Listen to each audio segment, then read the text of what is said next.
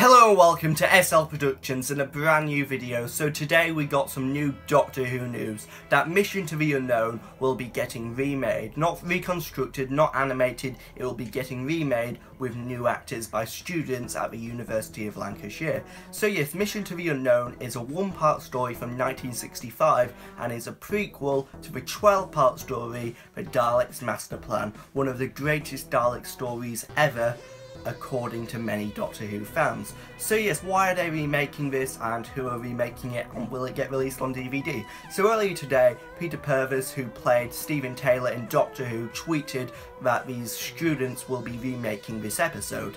And yes, I can see why they're remaking this episode as they don't have to worry about recasting characters such as the Doctor and the Doctor's companions as this story doesn't feature the Doctor or the Doctor's companions, it's just about these disposable characters on this planet and there's some Daleks in it. And Nicholas Briggs, who voiced the Daleks in the modern era, will be voicing the Daleks in this story, I think.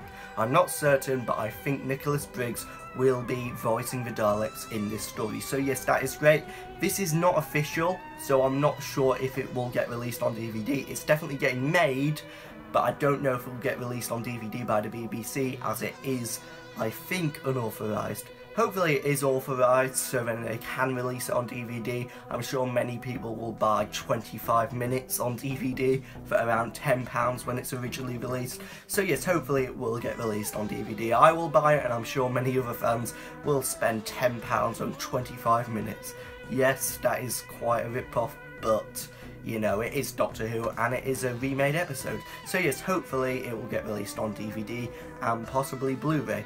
So yes, Will they remake any more classic Doctor Who stories? I'm not sure about remaking them, but they might animate some. I think they should animate episodes 1 and 4 from the Doctor Who story The Crusaders. They've already got episodes 2 and 3, I think, so hopefully they'll do that.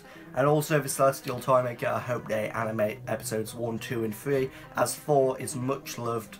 And yeah, I hope they remake that story. And also, I think they should re-release The Underwater Menace on DVD as episodes 1 and 4, the telesnaps on those stories are awful. Hopefully they'll make a special edition for The Underwater Menace and the same for The Web of Fear as episode 3 has telesnaps. The telesnaps aren't as bad as the Underwater Menace, but I'd like to see an animation form. So yes, they should make a special edition of those two stories. So yes, that is the end of this video, and until the next time, goodbye!